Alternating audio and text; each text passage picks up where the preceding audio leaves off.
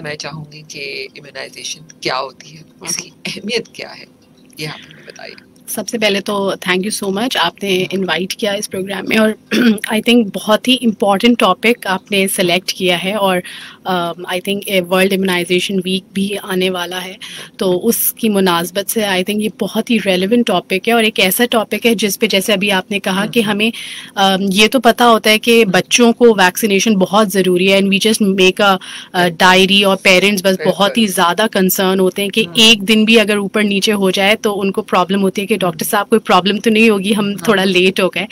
तो इसी तरीके से जैसे बच्चों को ज़रूरत होती है वैक्सीनेशन की उसी तरीके से एडल्ट को भी यानी बड़े लोगों को भी 18 साल के बाद की उम्र के लोगों को भी वैक्सीन्स जो हैं उनकी ज़रूरत होती है। तो सबसे पहले मैं आपको ये बताना चाहूँगी कि वैक्सीन बेसिकली दी क्यों जाती हैं। सो so, वैक्सीन एक तरीके से आपको डिफरेंट डिजीजेस से बीमारियों से बचाने का एक समझे बहुत ही इफ़ेक्टिव और सेफ़ ज़रिया होता है। तो बहुत सारी ऐसी बीमारियाँ होती हैं जिनके अगेंस्ट वैक्सीन अवेलेबल हैं और अगर आप बर वक्त वो वैक्सीन लगवा लें तो ना सिर्फ़ आप उस बीमारी के होने के चांस को कम कर सकते हैं बल्कि अगर फॉर एग्ज़ाम्पल क्योंकि कोई भी वैक्सीन हंड्रेड परसेंट इफ़ेक्टिव नहीं होती तो अगर बीमारी हो भी जाती है and if you are vaccinated तो देर आर चांसेस के उससे रिलेटेड पेचीदगियाँ या कॉम्प्लिकेशंस कम से कम होंगी। uh, तो इसलिए ज़रूरी है कि वैक्सीन को बाकायदगी से uh, जो भी आपकी एज स्पेसिफिक इंडिकेशन हैं उसके हिसाब से लगवाया जाए। बिल्कुल। अच्छा डॉक्टर रबी हम साथ साथ कॉल्स भी ऐड करते चाहिए तो एक कॉल ऐड करते हैं। जी सलामकुम वालेकुम अस्सलाम। अदी बुरा सब कराची सदरलैंड यहाँ से। आपको और आपकी पूरी टीम को डॉक्टर साहब को सब सुनने वाले को मौला खुश और आबाद रखे हंसता और मुस्कुराता रखे हर बीमारी कोई सवाल करना चाहेंगे? जी बाजी आप ना वो इंजेक्शन के बारे में बता रहे हैं ना मना बचाव के लिए। बाजी में तो एक मेरा सवाल है डॉक्टर साहब से तो अगर हम किसी को ब्लेड दे रहे हैं और ब्लेड देने की वजह से हमें कितने फ़ायदे मिलते हैं और कितने माना महीने के बाद वरी हम किसी को दोबारा ब्लेड दे सकते हैं? ठीक है ओके बहुत शुक्रिया मौला खुश रखे शुक्रिया का सवाल है कि एक दफ़ा अगर हमने ब्लड दिया तो कितने अरसे के बाद दोबारा दे सकते हैं अच्छा ये डिपेंड कर रहा होता है कि जो ब्लड दे रहा है, सॉरी, जो ब्लड डोनर है, उसकी अपनी हेल्थ कंडीशन पे डिपेंड कर रहा होता है। उसका अपना हीमोग्लोबिन लेवल क्या है। लेकिन अगर आप चाहें तो एवरी थ्री मंथ्स आप ब्लड को डोनेट कर सकते हैं। इनफैक्ट उससे पहले भी कर सकते हैं डिपेंडिंग करते हैं आपके हेल्थ स्टेटस क्या है। तो इसके लिए ज़रूरी है कि जब भी आप ब्लड डोनेट करने चाहते हो तो अपनी सबसे पहले स्क्रीनिंग कराएँ, अपनी इवेल्युएशन करें अपने हेल्थ को असेस करवाइए। और कुछ टेस्ट होते हैं जैसे कि हेपेटाइटिस बी सी ये सारे स्क्रीनिंग टेस्ट होते हैं। वो डोनर को पहले खुद से करवाने चाहिए ताकि ये पता चल सके कि whether he is fit to donate blood और नॉट बिल्कुल। अच्छा जब हम एडल्ट्स की बात करते हैं तो हम एडल्ट की एज को कब से काउंट करें कि हम 18 years and above 18 and above अच्छा कौन सा हम कहते हैं? जी हाँ जी अंबर से मैं ये पूछना चाह रहा था कि जो एडल्ट वैक्सीनेशन की बात हुई तो ये तो नहीं बताया कि कौन सी वैक्सीनेशन लेनी अभी बात करेंगे। अभी तो शो शुरू हुआ है। अब आखिर तक सुनिए सब बताएँगे आपको। अच्छा नहीं क्या बट आई एम 60 प्लस ना तो मुझे बिल्कुल बिल्कुल सब बताएँगे। हम एज वाइज बात करेंगे किसको क्या वैक्सीन लगानी चाहिए ठीक है? अच्छा अच्छा तो पूरा शो सुनना पड़ेगा। बिल्कुल आपको पूरा शो सुनना पड़ेगा। ठीक है थैंक यू सो मच बिल्कुल। जी सामीन हम बिल्कुल स्टेप बाय स्टेप सारे सवाल डॉक्टर रबिया को करेंगे। इसके बगैर हम इनको बिल्कुल नहीं जाने देंगे आज। अच्छा डॉक्टर रबिया जब हम वैक्सीन की बात करते हैं तो अमूमन जो कॉमनली हम बात करें तो मैं चाहूँगी कि एज वाइज अगर आप बात करें तो कौन कौन सी वैक्सीन जो है हमें लगानी चाहिए? हम एडर्ली एज से शुरू कर लेते हैं? हाँ हम ऐसे कर लेते हम बिल्कुल हम एडर्ली से भी बात कर सकते हैं। तो जब हम वैक्सीन की बात करते हैं ना और हम ये डिसाइड कर रहे होते हैं जैसे फॉर एग्ज़ाम्पल अगर मैं कहूँ कि मुझे इस वक्त कौन कौन सी एज कौन कौन सी वैक्सीन लगनी चाहिए तो ओके okay. तो अगर मैं ये डिसाइड करना चाहूँ कि मुझे कौन कौन सी वैक्सीन लगनी चाहिए तो दो तीन फैक्टर्स होते हैं जिनको हमने हाँ। देखना होता है। सबसे पहले तो आपकी एज क्या है आप किस एज कैटेगरी में फॉल करें ठीक है? जैसे अभी इन्होंने एक हमारी जो कॉलर अभी इनकी कॉल आई हाँ। कि सिक्सटी ईयर्स एंड अबव क्या लगनी चाहिए ठीक है? तो डिफरेंट एज कैटेगरी की डिफरेंट वैक्सीन रिकमेंडेशन होती हैं। दूसरी चीज़ ये होती है कि आपके अपना हेल्थ स्टेटस कैसा है ठीक है? आपके पास कोई रिस्क फैक्टर्स मौजूद तो नहीं है आपके पास कोई कोमोबिट्स तो नहीं है यानी कोई ऐसी बीमारियाँ तो नहीं है जिसका आप शिकार हैं जैसे कि एग्जैक्टली exactly, हाँ। जैसे जो कि ऑलरेडी आपकी इम्यूनिटी को जो है वो कॉम्प्रोमाइज़ कर दें या लो कर दें जैसे कि डायबिटीज़ हो गई क्रॉनिक किडनी प्रॉब्लम्स हो गए हैं क्रॉनिक लंग प्रॉब्लम्स हैं सीओपीडी है एस्थमा है इसके अलावा अगर कुछ कैंसर्स होते हैं जो कि कैंसर की वजह से भी इम्यूनिटी लो हो जाती है। कुछ ऐसी दवाइयाँ होती हैं जैसे कि जो कि जैसे स्टेरॉइड्स हैं जो कि ऐसे पेशेंट्स होते हैं जो कि लॉन्ग टर्म स्टेरॉइड्स पे होते हैं कीमोथेरेपी उनको मिल रही होती है तो उसकी वजह से भी उनकी इम्यूनिटी कॉम्प्रोमाइज़ हो जाती है। तो उनकी इम्यूनिटी को बूस्ट करने के लिए और उनको दूसरे इन्फेक्शन से बचाने के लिए वैक्सीन्स को टाइम पर देना ज़रूरी है। तो दूसरी चीज़ जैसे कि अभी हमने बात की कि आपके रिस्क फैक्टर्स क्या हैं और आपके कोमॉर्बिड सिचुएशंस सिचुएशन के और फिर तीसरी चीज़ होती है कोई स्पेसिफिक सिचुएशन आपकी लाइफ की तो नहीं है जैसे कि आप ट्रैवल तो नहीं करने वाले ठीक है ना? या कहीं ऐसा आपका ऑक्यूपेशन ऐसा तो नहीं है कि जिसकी वजह से आप दूसरे मर्स का के लिए हाई रिस्क हो सकते हैं जैसे कि हेल्थ केयर वर्कर्स हैं ठीक है ना? तो ये सारी सिचुएशन को देखकर आपकी ये सारी चीज़ों को असेस करने के बाद फिर स्पेसिफिकली आपकी एज के हिसाब से जो भी वैक्सीन रिकमेंडेड हैं वो फिर आपको बताई जाती हैं। तो यूजली अगर हम 60 प्लस की बात करते हैं तो कौन सी वैक्सीन आप रिकमेंड करें ठीक है। सो so, अगर हम 60 की बात करते हैं तो ये कुछ वैक्सीन जो मैं अभी आपको बताती हूँ वो तो ज़रूरी है। वो तो you know they are mandatory और उसके लिए मैंडेटरी एज कट ऑफ़ है। यानी अगर आप 65 इयर्स हैं या 65 इयर्स के अबव हैं तो ये वैक्सीन तो आप ज़रूर चेक करें कि आपको ये वैक्सीन लगी हैं या नहीं लगी। तो सबसे पहले इसमें आ जाती है इन्फ्लुएंजा वैक्सीन ठीक है? इन्फ्लुएंजा वैक्सीन हर साल लगनी चाहिए। फ्लू एग्जैक्टली तो ये फ्लू से से प्रोटेक्शन आपको देती है और अगेन मैं फिर वही वाली बात कहूँगी हंड्रेड परसेंट प्रोटेक्शन कोई भी नहीं देता। बट अगर आप वैक्सीनेट हो जाते हैं तो जो कॉम्प्लिकेटेड डिजीजेस होते हैं उससे बचा जा सकता है और हॉस्पिटलाइजेशन के रिस्क को मिनिमाइज किया जाता है। तो this has been proven by research तो इन्फ्लुएंजा की वैक्सीन लगनी चाहिए लेकिन साल में एक मरतबा ठीक है? सो ब्रेक लेते तो इन्फ्लुएंजा की हमने बात की जो कि हर साल लगनी चाहिए और हर साल लगने की वजह भी मैं यहाँ पर बता दूँ क्योंकि अक्सर मरीज़ कहते हैं कि वो तो हमें लास्ट ईयर लग गई थी तो अब दोबारा से क्यों?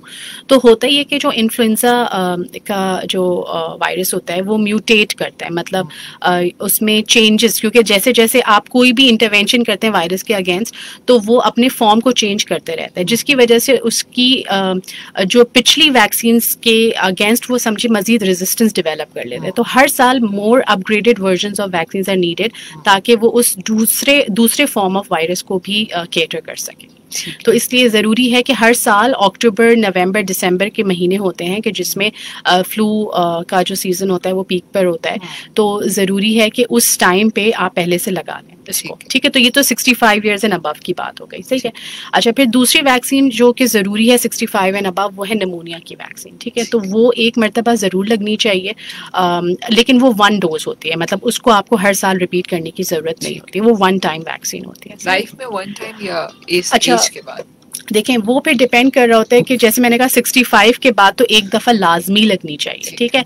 लेकिन 65 से पहले भी जो लोग कोमॉर्बिड्स का शिकार हैं या ऐसी क्रॉनिक कंडीशंस का शिकार हैं शिकार हैं, जैसे कि एस्मा है उनको, या डायबिटीज़ है सीओपीडी का प्रॉब्लम है, या लॉन्ग टर्म स्मोकिंग जो कर रहे हैं तो उनको ये 65 से पहले भी लगाने के बारे में सोचना चाहिए।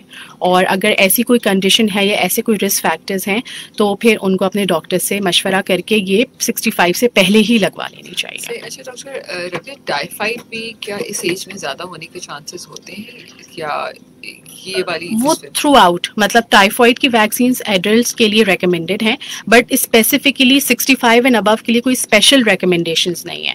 तो वो तो अगर कोई भी वो क्योंकि टाइफॉइड का जो जरासीम होता है वो वाटर बॉर्न इन्फेक्शन या फ़ूड बॉर्न के थ्रू होता है तो वो डिपेंड करता है कि आप कितनी रिस्की सिचुएशन में रह रहे हैं।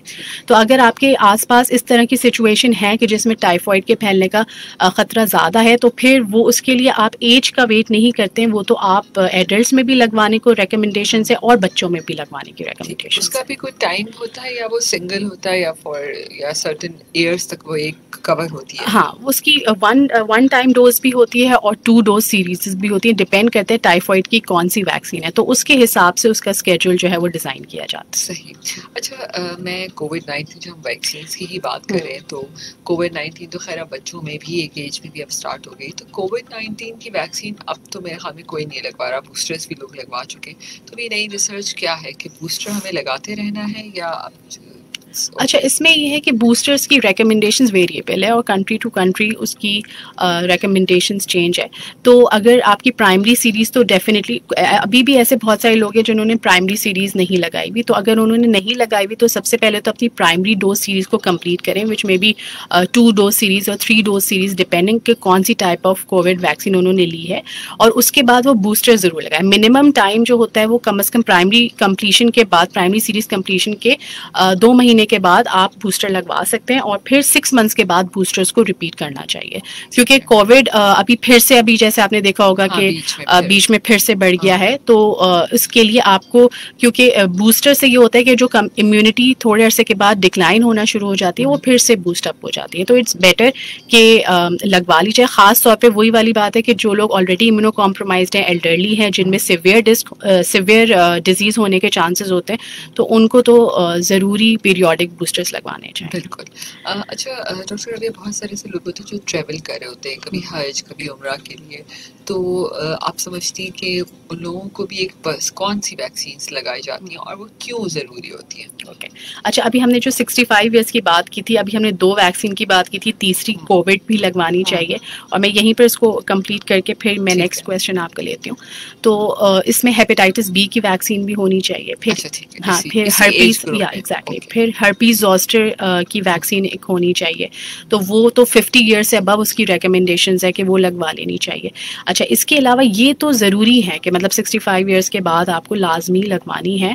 Age is a bracket for these vaccination लेकिन फिर वही वाली बात है कि हम रिस्क फैक्टर्स असेस करते हैं और कोई अगर एडिशनल कोमोबिड्स हैं या रिस्क फैक्टर्स हैं एल्डरली पेशेंट को सिक्सटी फाइव ईयर से अबव तो उसकी बेसिस पे हो सकता है कोई स्पेसिफिक वैक्सीन मजीद उनको प्रिस्क्राइब करी जा सके। तो उस सिलसिले में ज़रूरी है कि एक वैक्सीनेशन चेक लिस्ट अपनी फिजिशन से अपने डॉक्टर से ज़रूर एक रिव्यू करवा लेनी चाहिए।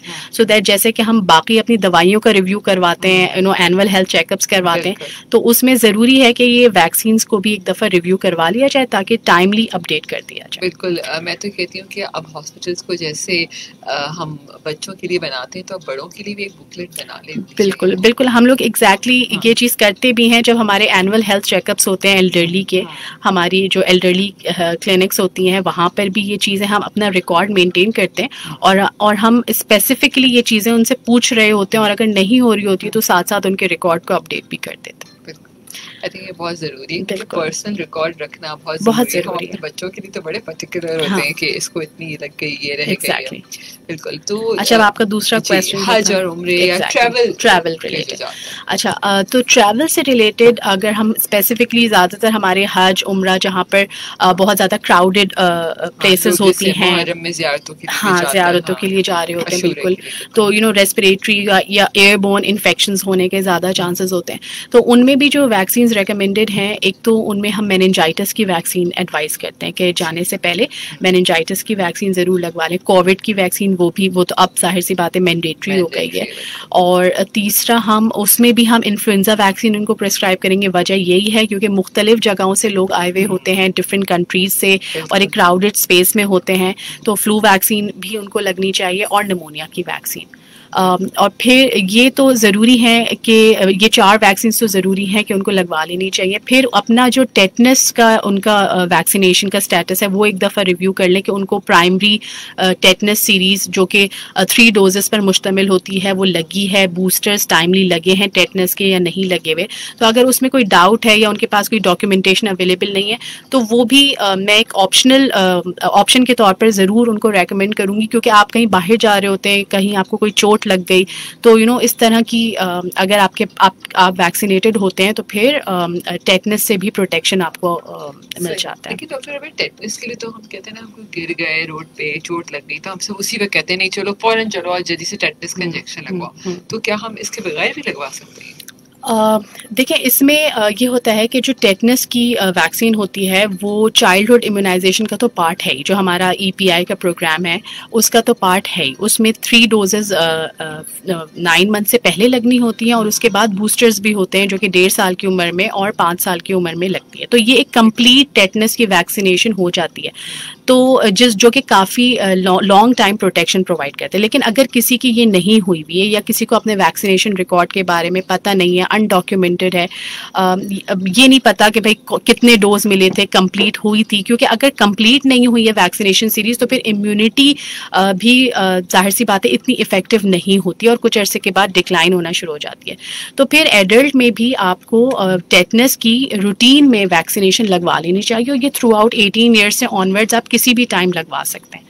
तो उसमें भी आपकी थ्री डोज वैक्सीनेशन सीरीज़ होती है कि आपने एक डोज लगाई, फिर एक महीने के बाद दूसरी डोज लगाई, फिर छः महीने के बाद तीसरी डोज लगाई।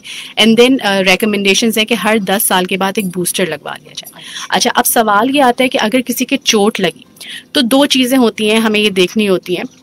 कि वूंड कैसा है? यानी चोट लगने के बाद क्लीन वूंड है बहुत ज़्यादा डर्टी वूंड है बहुत ज़्यादा डीप वूंड है डिपेंड ये करता है कि उस पर बहुत ज़्यादा कोई डर्ट या इस तरह की चीज़ तो नहीं लग गई है।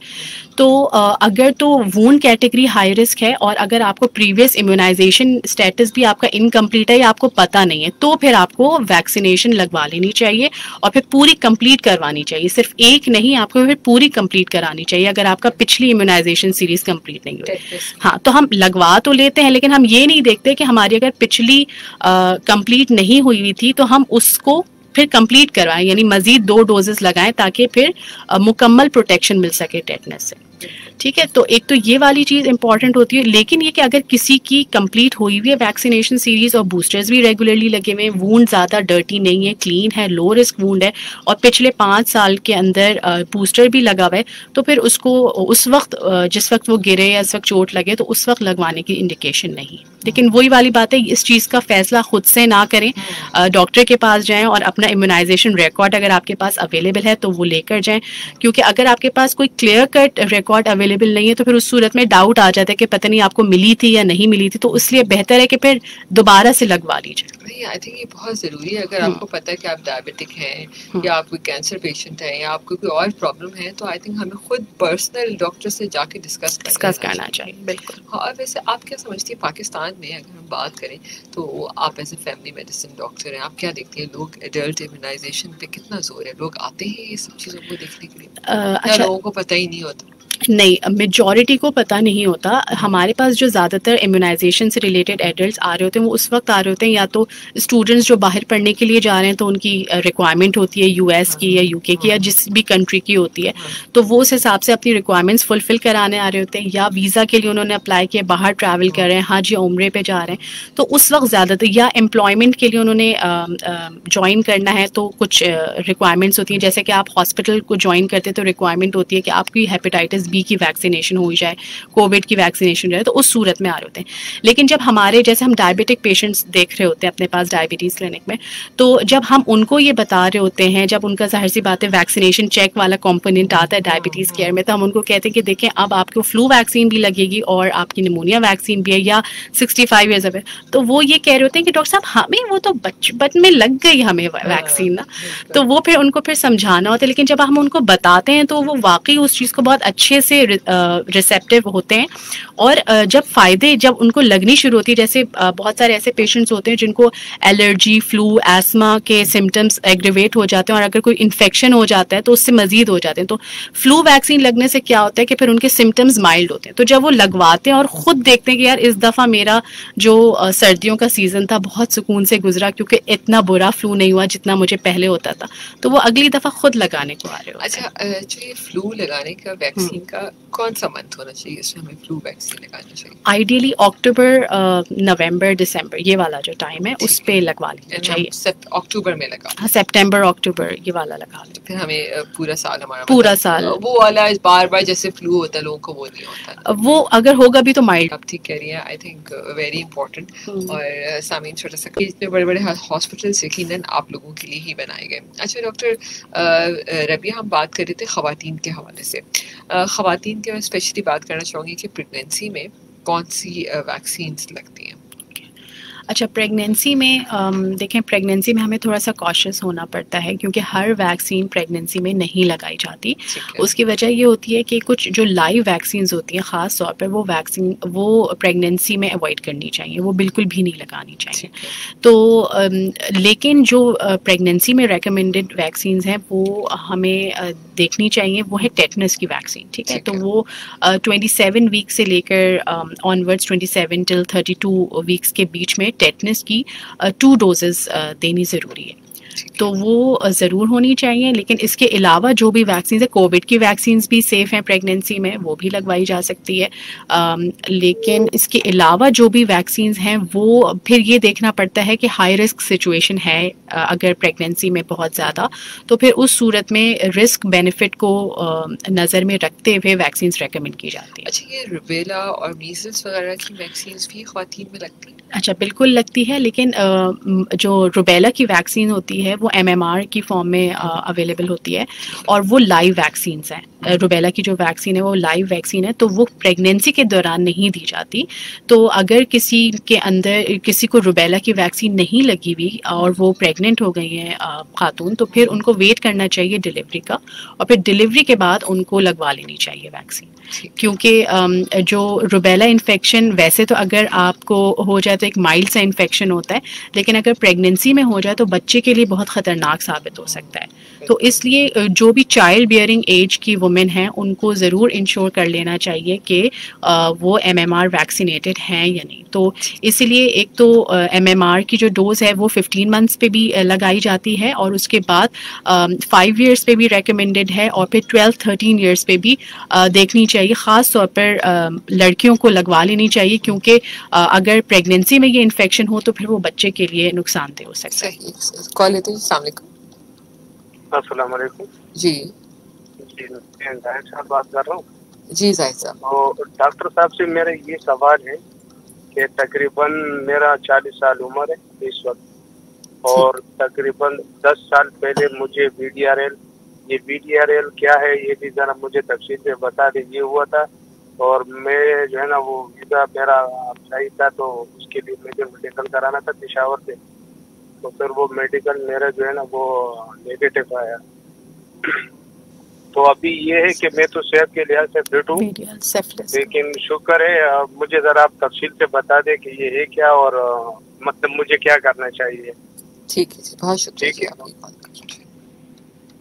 जी डॉक्टर अच्छा ये जो वी डी आर एल का टेस्ट कह रहे हैं, ये अमूमन जिन लोगों को सेफलिस का इन्फेक्शन होता है या और बहुत सारी दूसरी कंडीशंस में भी वी डी आर एल का टेस्ट पॉजिटिव आता है तो सिर्फ़ वी डी आर एल की बेसिस पे नहीं बताया जा सकता कि इनको क्या प्रॉब्लम है।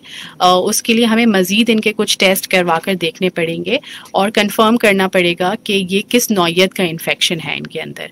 तो आई थिंक इन्होंने शायद मेडिकल फिटनेस के लिए या वीज़ा के लिए जैसे कह रहे हैं तो अगर V D R L positive आते तो फिर वो होल्ड कर लेते हैं until you get further evaluation for that ना।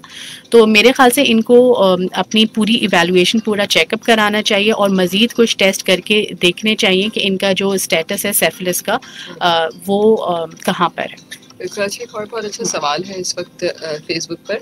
उनका कहना है कि जितनी भी वैक्सीन आपने बताई हैं, ठीक है, इस, इन वैक्सीन को लगाने के लिए क्या ये कराची के हर अस्पताल में वैक्सीन मौजूद होती हैं?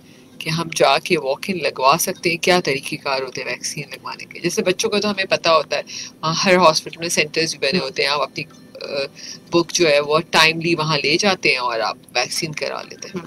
अच्छा देखें, अब इसमें वही वाली बात है कि बच्चों की चूँकि एक गाइडलाइंस बनी हुई है कि इस एज पे ये लगनी चाहिए।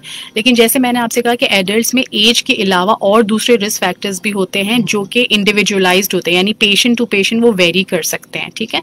तो बेहतर मैं आपको यही गाइड करूँगी कि बेहतर यह है कि अपने जो डॉक्टर्स हैं उनसे पहले आप रबता करें और उनसे डिस्कस करें कि उनको आपको आपकी सेहत के लिए उस वक्त कौन सी वैक्सीन लगनी चाहिए और किस किस गैप से लगनी चाहिए। फ्रीक्वेंसी भी इंपॉर्टेंट होती है ठीक है? और अगर और फॉर एग्ज़ाम्पल जैसे प्रेगनेंसी अब अगर कोई प्रेग्नेंट है तो ज़ाहिर सी बात है उसको लाइव वैक्सीन नहीं लगेंगी। तो अगर वो एम एम आर लगवाना चाह रही है तो फिर उसका डॉक्टर ही उसको गाइड करेंगे कि गायना family doctor I would say कि वो गाइड करेंगे कि आपको कौन सी वैक्सीन लगानी है और कौन सी अभी होल्ड करें और फिर बाद में लगाएँ। तो वैक्सीन नो डाउट अवेलेबल तो तमाम बड़े हॉस्पिटल्स में डेफिनेटली अवेलेबल होंगी और हैं भी। लेकिन आपको किस स्केड्यूल पे जानी चाहिए, उसके लिए आपको डॉक्टर से ज़रूर रुजू करना चाहिए। और वैक्सीनेशन क्लिनिक्स होती हैं तो आपको वहाँ पर जाकर ये वाली चीज़ अपने डॉक्टर से ज़रूर डिस्कस करनी चाहिए। और आइडियली इसका जो मैं आपको रेकमेंड करूँ कि जो अच्छा तरीका होता है, वो एनुअल हेल्थ चेकअप के दौरान होता है। कि आप साल में एक मरतब अपना एनुअल हेल्थ चेकअप कराएँ, और उस दौरान अपना पूरा वैक्सीनेशन स्टेटस रिव्यू करवा लें तो आपको एक पूरी क्लियर पिक्चर पता चल जाती है कि आपको कौन कौन सी वैक्सीन लगनी चाहिए। बिल्कुल आप अपनी हेल्थ कंडीशन भी डिस्कस कर लेते हैं तो हाँ, उसी पे बिल्कुल।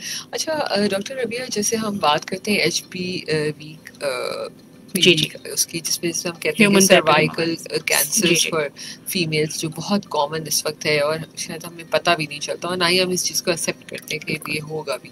जैसे हम अगर इंडिया पाकिस्तान की बात करें तो ये बहुत तेज़ी से ये कैंसर फैल रहा है हम्म। तो क्या इसकी वैक्सीन भी जब स्टार्टिंग बच्ची एक उस एज में जाने लगे तो आप समझती हैं कि लगवा लेनी चाहिए जी, बिल्कुल।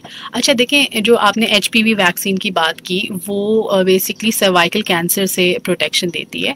तो जब हम इसकी बात करते हैं तो अमूमन लोगों को एक तो पहले अवेयरनेस नहीं है। किसी भी कैंसर स्क्रीनिंग की भी अगर हम बात करते हैं, जैसे फॉर एग्जांपल हम ब्रेस्ट कैंसर स्क्रीनिंग की बात करते हैं कि भाई उसके लिए आपको मेमोग्राम करवाना चाहिए। इसी तरह से सर्वाइकल कैंसर स्क्रीनिंग के लिए आपको लिक्विड बेस्ड साइटोलॉजी या पैप्स में का टेस्ट करना चाहिए। तो सबसे पहले जो पेशेंट्स का एक आता है कि हमें तो कुछ सिम्टम्स नहीं है मतलब हमें कोई प्रॉब्लम नहीं है so why should we go for these test तो मैं ये कहना चाहूँगी इस फोरम पे कि जो स्क्रीनिंग टेस्ट होते हैं, वो हम उसी वक्त कर रहे होते हैं कि जब कोई सिम्टम्स ना हो सो दैट अगर कोई भी early changes cancer related changes या प्री कैंसरस चेंजेस आपके बॉडी में हैं तो वो डिटेक्ट हो जाए इन टेस्ट के ज़रिए। तो ये तो टेस्ट की बात हो गई कि हम स्क्रीनिंग करें। अच्छा एक और स्टेप इससे पहले कि अगर हमारे पास वैक्सीन अवेलेबल हैं तो वो अगर हम टाइमली दे दें तो फिर कैंसर से भी प्रोटेक्शन हो जाती है, क्योंकि जो सर्वाइकल कैंसर की एक कॉज होती है, वो ह्यूमन पेपिलोमा वायरस होता है। तो ये जो वैक्सीन होती है, वो एचपीवी के अगेंस्ट प्रोटेक्शन देती है। तो फिर मैं ये ये मैं बताना चाहूँगी कि सारे हंड्रेड परसेंट प्रोटेक्शन तो नहीं, लेकिन काफ़ी हद तक प्रोटेक्शन सर्वाइकल कैंसर से मिल सकती है। लेकिन जो एज होती है उसके लगने की, वो होती है नाइन टू ट्वेल्व ईयर्स से स्टार्ट होती है। दो तरह की सर्वाइकल कैंसर की वैक्सीन हमारे पास मौजूद होती हैं। तो वो नाइन टू ट्वेल्व ईयर्स पे उनकी लगनी डोज स्टार्ट होती है। और जो मैक्सिमम एज होती है, और उसमें टू डोजेज होती हैं, जो कि three month six months apart दी जाती है। डिपेंड करते हैं कि कौन सी वैक्सीन मिल रही है। लेकिन आप ट्वेंटी सिक्स ईयर्स के बाद उसको देने का कोई ख़ास फ़ायदा नहीं है। हाँ तो इसलिए अवेयरनेस अभी से पैदा करना कि आप बच्चों में मतलब इस एज ब्रैकेट में अगर कोई आ रहा है इस वैक्सीन को लगवाने के लिए तो उसका मैक्सिमम बेनिफिट है। वरना उसके बाद ज़ाहिर हर वैक्सीन की एक एफिकेसी होती है, जो कि एक उम्र के बाद फिर नहीं इतनी रहती। तो ये चीज़ हमें ज़रूर देखनी चाहिए कि हर वैक्सीन की जैसे एक मिनिमम एज होती है लगवाने की तो इसी तरह से एक मैक्सिमम एज होती है जिसके बाद उसका कोई बहुत ज़्यादा फ़ायदा नहीं होता। तो ये चीज़ अवेयरनेस बच्चों में मतलब ज़ाहिर सी बात है मदर्स में डेवलप करने की ज़रूरत है कि वो इस एज ब्रैकेट पे ज़रूर लाकर करवा लें वैक्सीनेट अच्छा डॉक्टर भाई जैसे बहुत सारी स्कूल ड्राइव्स होती हैं जैसे आपने देखा होगा स्कूल्स में बहुत सारी वैक्सीन लगती हैं लेकिन सम टाइम माँ बाप नहीं लगवाते वो वैक्सीन ना। तो क्या हम फिर वही वैक्सीन बड़े जब हो जाते हैं बच्चे तो फिर तब लगवा सकते हैं एडल्ट इसमें आ जाए तो? Um, देखें अगर आपकी किसी भी वजह से एक चले आपने एक बहुत अच्छा पॉइंट रेज किया कि स्कूल ड्राइव में अगर मिस हो गई है या, या आपकी रूटीन वाली मिस हाँ। हो गई है तो आप it's never too late to get vaccinated आपकी मिस हो गई हैं और आपको उसको अपडेट कराना है, आप कैचअप इम्यूनाइजेशन के थ्रू भी उसको कंप्लीट करवा सकते हैं। तो कभी भी ये ना समझे कि हमने तो अब लगवाई नहीं तो अब टाइम नहीं है। क्योंकि जैसे वही वैक्सीन जो बचपन में लगती हैं, वही बड़े होकर भी आप लगवा सकते हैं। तो it's never too late to get vaccinated बिल्कुल। बिल्कुल आप सही कह रही हैं अच्छा मैं चाहूँगी कि बहुत सारे लोग जब वैक्सीन लगवाते हैं जब हम कोविड नाइन्टीन की एक छोटी सी एग्जांपल ले लेते हैं हम्म। कि जब हम उसकी वैक्सीन आई तो लोगों का बहुत सारे सवाल थे कि इसके साइड इफ़ेक्ट्स बहुत होंगे ठीक है तो हम नहीं लगवा सकते इससे ये हो जाएगा और अभी भी आज भी लोग ये कहते हैं कि जी हमने कोविड की वैक्सीन लगवाई थी इसलिए अगर कोई प्रेगनेंट खातन है तो उसमें इसलिए मिस कैरेज होगा क्योंकि हम्म। उसका साइड इफ़ेक्ट है आज भी हमारे साथ ये मसला है क्योंकि हमने वो वैक्सीन लगाई थी। हम्म। आप भी शायद सुनती होंगी हर रोज। तो क्या ओवरऑल हम जितनी भी एडल्ट वैक्सीन की बात करते हैं तो साइड इफेक्ट्स कितने अहम है? वाकई होते हैं और उसका लॉन्ग टर्म इफेक्ट्स होते हैं? देखिए जब कोई भी वैक्सीन मार्केट में आती है या कमर्शली अवेलेबल होती है तो वो एक पूरी एक series of after so many years of research trial safety workup के बाद आ रही होती है। तो um, uh, और वही वाली बात है कि जो माइनर साइड इफ़ेक्ट्स थोड़े बहुत तो जैसे किसी भी वैक्सीन से आपको एलर्जिक रिएक्शन हो सकता है वो आप पहले से नहीं प्रोटेक्ट कर सकते थोड़ा बहुत फीवर हो सकता है बॉडी एक्स हो सकते हैं किसी को रैश लाइक इलनेस भी हो सकती है। बट हमें ये देखना चाहिए कि आया ये जो रिस्क हैं या ये जो नुकसान है, इस, ये ज़्यादा अहम है या जो बेनिफिट इन वैक्सीन से पहुँच रहा है, वो ज़्यादा अहम है। तो अगर हम हमेशा, ये इसको अगर बैलेंस में रख कर देखें तो बेनिफिट ज़्यादा है। तो वो बेनिफिट्स का जो बैलेंस है वो ज़्यादा जा रहा है तो इसलिए बेहतर ये है कि इनको लगवा लेना चाहिए, बजाय इसके अगर आप नहीं लगवाएँगे तो बीमारियों की कॉम्प्लिकेशंस आ जाएँगी।